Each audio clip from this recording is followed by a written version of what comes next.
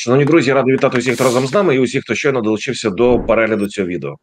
Ви на youtube каналі Фабрика новин. Мене звати Юрій Бібік. Дякуємо вам за те, що обираєте саме нас. Підпишіться, будь ласка, нас понад 4 мільйони, і це дуже важливо.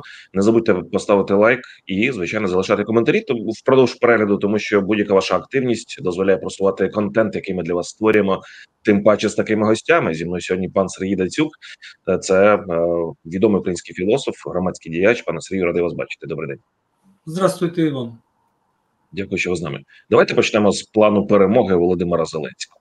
Ну, от, власне, його вже обговорюють тривалий час, але відомо вже деякі навіть деталі, тому що в пресі з'являється чим більше повідомлень про те, що він передбачає. Наприклад, там один з пунктів дозволити використовувати західну зброю далекобійну для враження цілей на території суверенній території Російської Федерації глибоко в тилу. Далі французьке видання Monde, наприклад, пише про те, що Зеленський буде просити. Байдена, аби він посприяв запрошенню України до НАТО, поки є ось цей люфт, допоки президент Сполучених Штатів ще досі перебуває у владі при владі. Хочу вас запитати, наскільки ну як би ви оцінили зокрема ось такі кроки української влади? А по-друге, ну наскільки реалістично з планом перемоги перемогти? Ну рідко, але буває, зустрічаються такі плани, де. А, нема забезпеченими ресурсами, і де, власне, сам план виглядає як прохання, вимога, побажання. Та як ви не назвіть? Ну, я б не назвав це планом. А що, а що тут планового такого? Ну, власне, від початку війни цей план не змінився. Як ви нам дасте зброю, ми будемо воювати. Як ви нам дасте більше зброї, ми може навіть переможемо. Ну або не програємо, принаймні. Е, не знаю, що тут такого нового, що можна обговорювати. А що прохання взяти нас НАТО нове? Чи прохання дайте нам зброю нове? Чому план? Що ми такого запланували нового, що його треба обговорювати? Я, чесно кажучи, читав в цьому плані і не знайшов. А а що ви знайшли нового? Таке що? Давайте обговоримо, що нового. Давайте нічого. Принаймні з того, що зараз є в пресі, нового нічого. Тому я хочу запитати, чому лише зараз, через там два з лишком років, ми приїжджаємо до Сполучених Штатів з планом, пункти якого фактично ми, ми озвучували ми, ми приїжджаємо до Сполучених Штатів з тим самим, з чим їздили усі ці роки. Ну це ж не тільки роки війни, але і до війни. Називаємо це якимось планом. І намагаємося видати його за план перемоги. А в чому перемога? Тоді це що, пане Сергію? Тоді це що? Як це виглядає? Піар. Це виглядає як чистий піар, який не важливий для Сполучених Штатів, але який можна продати всередині України. Власне, це ми намагаємося зробити. Ви, журналісти, залучені в це, оскільки ви ну, це обговорюєте, запрошуєте експертів, таких як я, і просто їх обговорюєте. А обговорювати нема що. Але дозвольте вас запитати таке: е, якщо це піар, чи може виглядати сценарій наступним чином?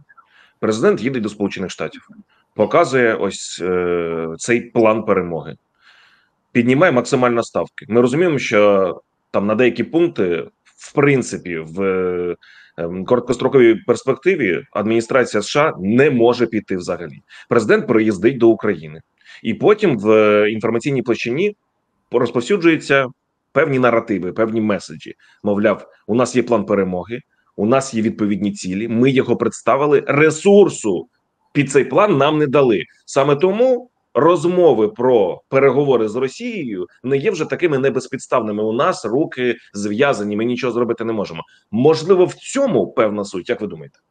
Ну, дивіться, ми можемо лише гадати, ну, але дивлячись на те, що усі засоби масової інформації заряжені, ну я вже не знаю, персонально президентом чи офісом президента, на те, щоб дуже детально показувати війну з точки зору втрат і жертв обсмоктуючи ці всі переживання щодень, детально, масово. І, умовно кажучи, ми намагаємося знизити кількість тих в соціологічному вираженні, хто все ще за перемогу.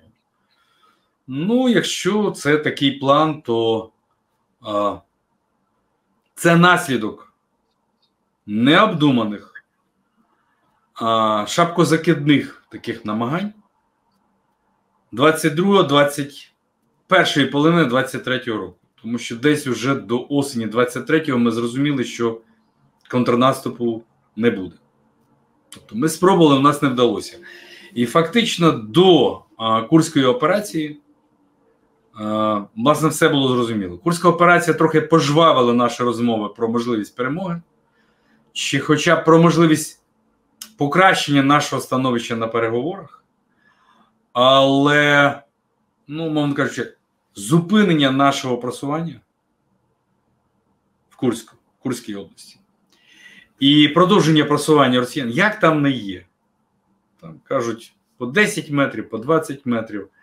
А, Інститут вивчення війни показує, що все звичайно не так, як ми кажемо, і просування є. А, І в цьому сенсі проблему тоді потрібно ставити інакше. Як залучити народ у війну, щоб народ зрозумів ціну подальшої війни?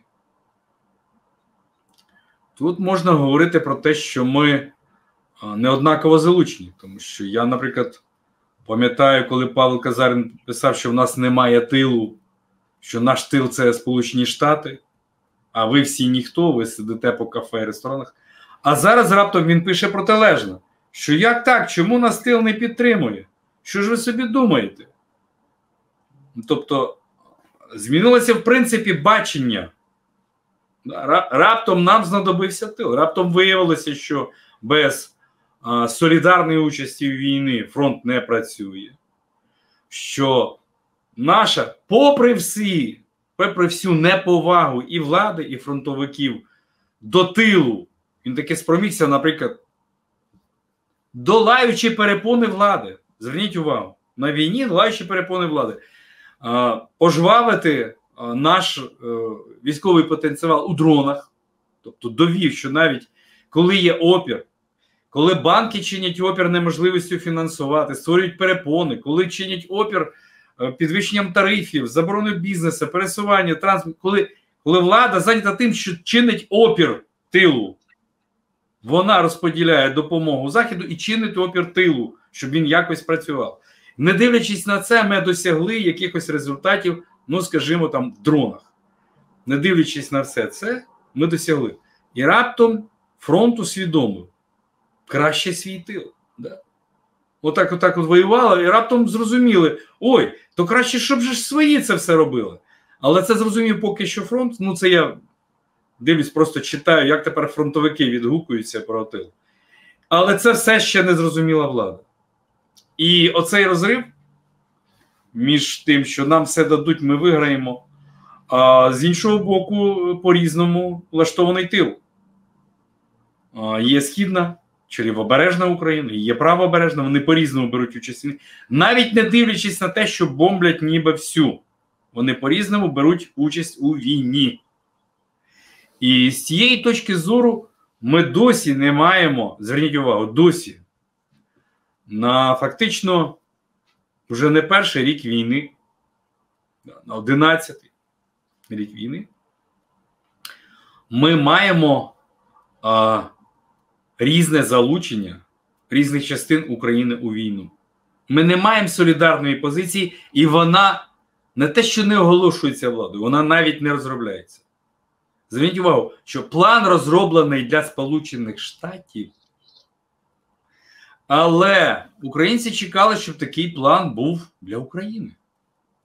План, в якому було б написано: ось такі умови роботи на фронт.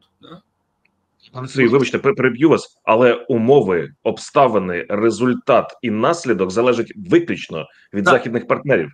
Та я ж про це й кажу. Що хотілося би почути, як не дадуть західні партнери нічого, то як зміниться ставлення влади до бізнесу і до громадян, які власне будуть тримати фронт? Тому що сьогодні це підвищення тарифів, підвищення податків, заборони, купа, починаючи від фінансових і закінчуючи різними речами в транспортній сфері, в організаційній сфері і так далі. і так далі, і так далі. Ми не маємо плану внутрішньої перемоги, внутрішнього плану перемоги. От в цьому проблема. Ми маємо президента війни, а не президента міру. Він не може звернутися, що от дивіться, я зробив усе, і тепер давайте мир. Тому що він нелегітимний в питаннях миру. У нього звужена легітимність. Лише щодо війни за рахунок зброї партнерів. Все, він її здобув, він її якось тримає. Їздить туди і і якось тримає цю легітимність всередині України. Ну, раз йому дають гроші і, е, так би мовити, зброю, то люди говорять: ну, нехай він воює, раз йому все дають. Але він не зробив найважливішого. Він не отримав внутрішньої легітимності нашого тилу на війну. Він не отримав легітимності на встановлення миру, тому що за Конституцією такі питання вирішуються референдумом, а це означає перевибори, референдум, тобто деякі обставини, які ще треба створити, але влада їх не створює, тому що вона не зацікавлена в цьому. Тобто, в нас нема внутрішньої солідарності і нема акцепту ну, чи легітимності для президента надії щодо тилу і щодо виходу з війни. Нема цього. Пане Сергій, скажіть, будь ласка, а коли одна частина суспільства досі, наприклад, е, за кордони 91-го року, інша частина суспільства тут в відсотковому співвідношенні можна по різному до цього ставитись. Неважливо, є одна частина суспільства за 91-й рік, є інша частина суспільства за е, припинення війни просто зараз. Є третя частина суспільства. Віддаємо території. Четверта, давайте заморозимо в перспективі, відвоюємо і так далі. Коли різношорстне суспільство абсолютно різне бачення на те, якою має бути, яким має бути припинення цієї війни, що робити президенту в такому разі? Цьому вже нічого. Його не почують, йому не повірять. Але а, з точки зору еліти це питання існує. Ну, наприклад, давайте, щоб не сталося, називаємо це перемогою. І це звучить постійно. Більшість людей, яких я зустрічаю, починають розмову з того. Росія хотіла захопити всю Україну, ми не дали, значить ми перемогли. Ну, вибачте, це озна... знаєте, що це означає? Це означає, ті політики, що були, діяли правильно. Ті політики, що були під час війни, діяли правильно. Значить, давайте не будемо чіпати, давайте знову їх переберемо. Адже перемога ми таки досягли. Давайте діяти далі в тому напрямку. Є єдиний момент, по якому ви можете розпізнати зміну ситуації. Це коли виходить і політик каже: ми програли, це поразка, все має бути змінне. От з цього моменту починається доросла розмова. Поки виходить політик і каже, ми перемогли, нам Захід не дав всього, але ми перемогли. Оце з цього моменту, знаєте, це політик, який безвідповідальний. Він бажає, як безвідповідальний політик, знову переобратися. Такої легітимності він точно не має і не матиме. І навіть розмови, типу, про кордони 91-го року це розмови пустопорожні. Кордони 91-го року це складний, довгий, багатолітній план. Тому говорити про кордон 91-го року, от, от просто давайте ми на фронті їх досягнемо. Ні. На фронті ці речі не досягаються. Кордони 91-го року досягаються не просто в, в тилу а шляхом радикальної зміни держави і суспільства. Якщо політик про це не говорить, то кордон 91-го року це, це просто піар. Але політик про це може говорити скільки завгодно. Політик може фантазувати, що нам не потрібно, що ми ми вийдемо далеко за кордони 91-го да, року. Політику да, да, для реалізації да. потрібен ресурс. Ресурсу немає. Тому будь-який політик, який і скаже, що ми програли, захід туди вже не політик. Це все розмови ні про що як кардинально змінити Україну, яка б сама спроможна була відвоювати кордон 91 року. Оце єдине питання, на яке я сьогодні хочу чути відповідь від українських політиків. Якщо такої відповіді немає, якщо мені тільки займається пустопорожнім розмовою, що ми перемогли, тому що Росія нас не захопила, і все добре, давайте разом все далі продовжити. Ні, так як є, не працює. Що таке перемога для вас? От перемога це припинення війни, це вихід на кордони 91-го, це договір з Росією мирний. Що це? В сенсі озвучити вам дві свої статті. Ну я ж їх написав.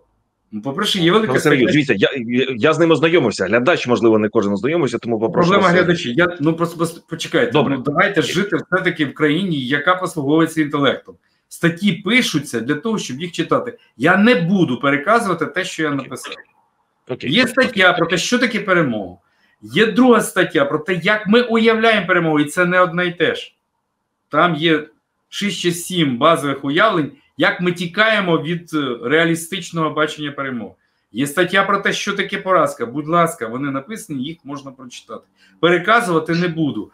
І в цьому сенсі, оце і є, власне, одна, одна з ознак інтелектуальної України або України, яка орієнтується на цивілізацію, це почати говорити з аргументами, читаючи і слухаючи один одного. Виходити на республіканські долі. Якщо ми цього не робимо, то тоді немає сенсу. Немає сенсу. це Безперечно.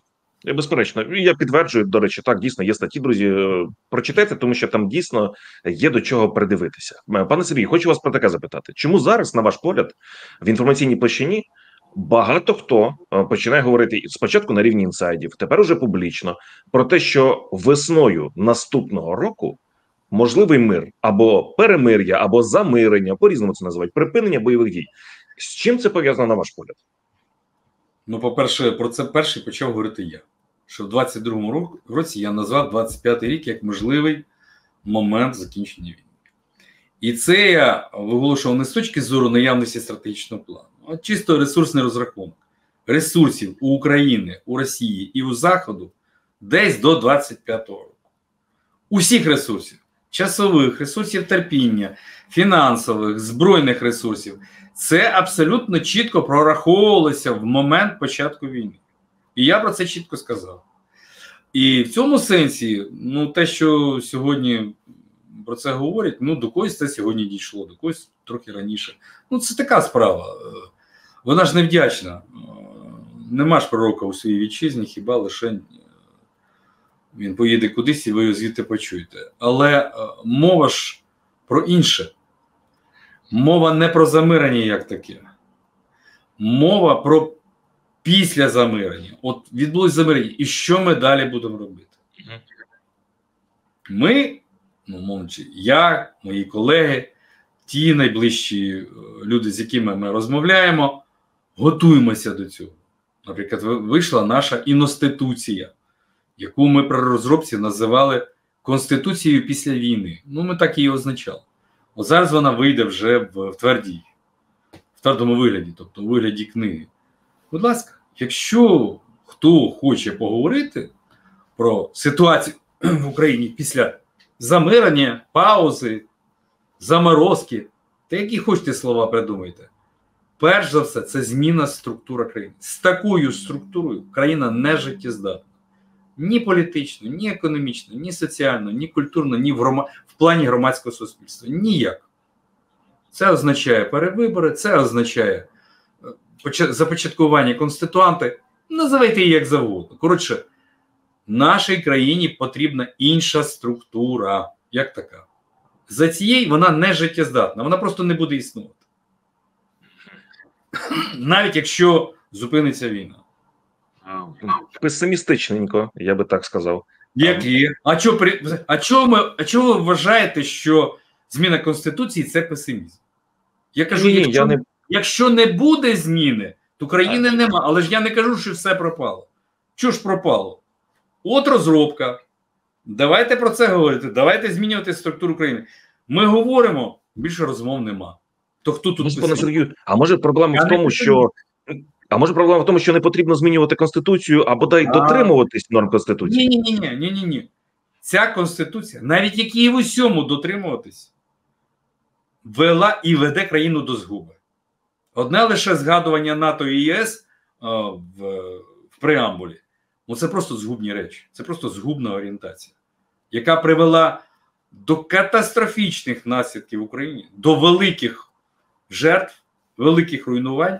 І мало того, більшість тих, хто за цим стоїть, не хочуть це визнати і усвідомити. Пане в такому разі давайте я перефразую запитання. Скажіть, будь ласка, а хіба були б згубні наслідки для України, якими вони є зараз, якби країна вже була б в НАТО і в Європейському Союзі? Не треба нам ніде бути.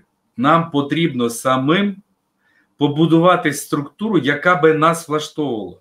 Коли б ми не срачами займалися, а змогли створити республіканську, да, тобто угодову, договірну структуру, яка би створила довіру, яка би створила економіку на довірі, яка, де б ми почали себе поважати щодня. Поки ми не зробимо цю роботу, ніяке НАТО і ніякі ЄС не, нічого нам не дадуть. Ми роботу не зробили. Важливу роботу щодо самих себе. Нас туди й брати не хочуть, тому що ми не зробили цю роботу. Мало того, нам прямо в очі це кажуть, а ми робимо вигляд, що ми навіть не чуємо цього. Розумію вас 100%. Нам безпосередньо потрібно без будь-яких умов зробити е, свою домашню роботу, перебудуватися, переструктуруватися і так далі, для того, аби бодай на це претендувати, а потім вже вирішувати. Але тут же мова про інше. Тут мова про те, що ми можемо будувати цю країну такою, якою ми її хочемо будувати. Це ніяк не впливає на плани ворога, який хоче може спроможний її захопити. Саме цього я і питаю. На сильну країну ворог не нападає, або як нападає, то отримає таку відсіч, що надалі подумає, чи варто напасти. Ми слабкі. Але могутності не не співмірні і Україна і Росія. Вони не через те, що нас не взяли в НАТО і в ЄС. Ми слабкі через те, що ми не змінювали себе. От через це.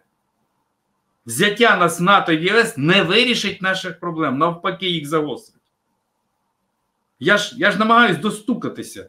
І ви вперто продовжуєте наполягати на тому, що що ні. Чому ні? Ні, я я не наполягаю. Я я вас інтерв'юю. Не думка. Проблеми вступ до ЄС і до НАТО для України не вирішує, тому що проблеми всередині України. Це не вирішує жодної проблеми. Візьмуть нас НАТО, візьмуть. Це не вирішує наших проблем. Е, пане Сергію, вам не здається, що ми дещо недооцінюємо роль Китаю у вирішенні цієї війни? То ми я дооцінюю. Наприклад, ну, я маю на увазі е, більша частина українського суспільства. Романенко, Арестович, е, мої колеги, всі ми дооцінюємо роль Китаю. Хто недооцінює?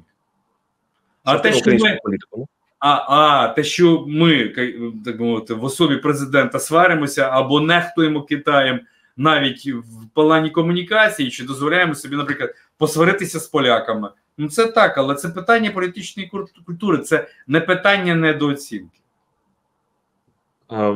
Тут, до речі, ви про поляків згадали. Цікаво, що е, зараз е, тема Волинської трагедії знову загострюється. І я хочу вас запитати, як можна вирішити цю історичну суперечку, коли в Ні. найуразливіший час для країни Ні. наші партнери допоки, допоки в Польщі і в Україні зберігається ресентимент, це постійно будуть подалювати. Вирішити це неможливо, не змінивши колективну пам'ять, не знищивши інститут національної пам'яті, не побудувавши замість нього інститут колективної пам'яті чи інститут там дослідження колективних пам'ятей. Ця проблема не вирішується. Жодним чином. Ми будемо стояти на своєму, поляки будуть стояти на своєму. Ну, так, так, так, в цьому створено цілий інститут, щоб відстоювати нашу ресентиментальну позицію. Тобто, як нам так ненавидіти поляків, щоб вони нас при цьому теж ненавиділи.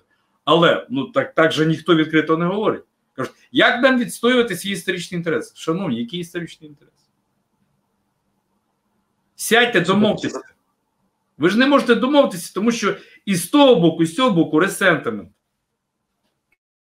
Ненависть, яка Вочевидь, не подолана.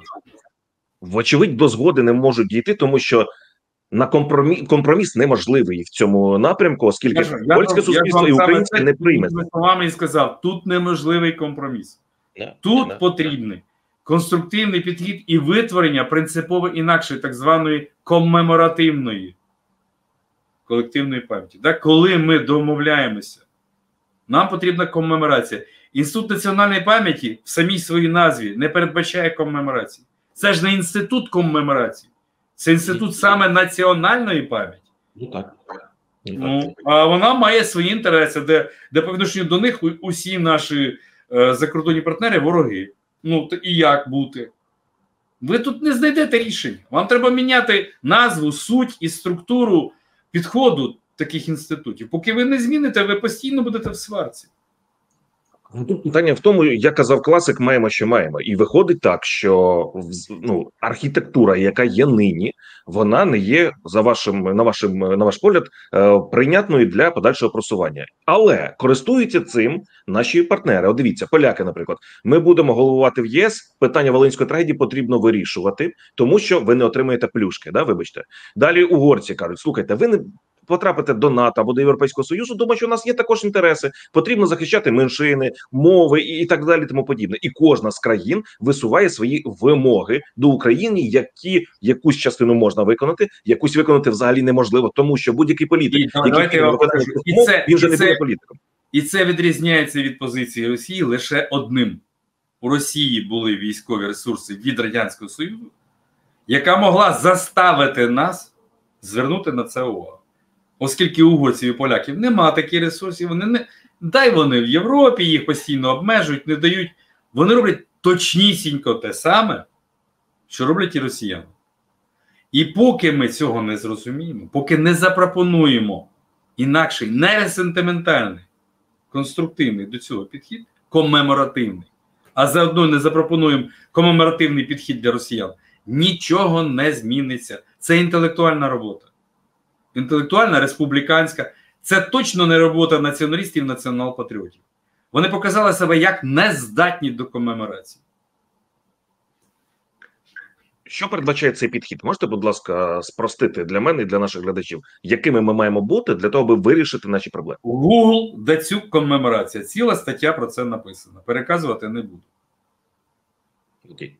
А, в завершення хочу вас е, ще запитати про те, а, а що відбувається там е, у нас е, з Білоруссю, оскільки ну тут у нас є свій фронт, виходить Лукашенко і каже: Ну, слухайте, шановні друзі, а, Штати хочуть руками Києва. е, Загострити ситуацію, а це призведе до третьої світової. Пане Сергію, це чисто політика, чи реально в цьому є те, на Ну, що каже потрібно звернути? Лукашенко, щоб до цього не сказав Путін. Чим це відрізняється? Це риторика Путіна. Звертати увагу на те, що її повторює Лукашенко, немає сенсу. Інша справа, що ми не спроможні ніяким чином, окрім ресентименту, на цього реагувати. Жодним. У нас сентиментальна свідомість, яка не передбачає інтелекту. Якби я навіть проговорив покроково, будь-який сентиментал націонал-патріот сказав, це неможливо. А чому неможливо? А тому, що в Україні є націонал-патріоти. А раз є націонал-патріоти, вони не дадуть це, це зробити. Ну, от і круг замикається, і розмова далі не йде. Тому бесіда сенсу немає. Пане Сергію, ну якщо проблема вся в націонал-патріотах, ми ж їх викорінити не можемо, навіть якщо вони комусь не подобаються. Це все одно частина суспільства, яка є. проблема. Ні, ні, ні, ні. Проблема не в націонал-патріотах, а в ресентіменті націонал-патріотів. Є різні націонал-патріоти. Націонал-патріоти, ви здивуєтеся, але вони є в Сполучених Штатах, Ну в так. Британії, в Японії. Вони не діють сентиментальним чином. Я не проти націонал-патріотів, я проти ресентименту. Я про це постійно говорю, постійно повторюю це, але мене не чують, кажуть, що я ненавиджу націонал-патріотів. Чому я їх ненавиджу? Я нікого не ненавиджу. Пане Сергію, ем, у нас сьогодні з вами вийшла цікава А, розмова. да, да, да. а про ресентимент є окрема моя стаття, яку теж можна прочитати. Переказувати не. І я раджу це зробити нашим е, глядачам е, вже постфактум після цього інтерв'ю. Е, Воно було дуже цікаве для мене особисто, емоційне, і це дуже класно.